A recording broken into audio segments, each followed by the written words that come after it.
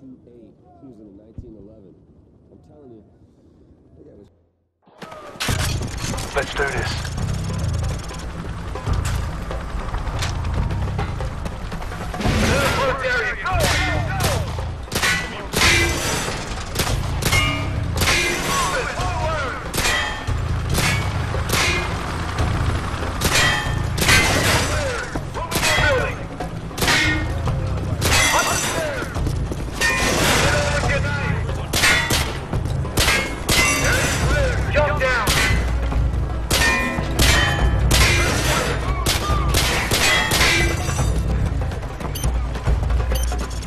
Personal record. Great work.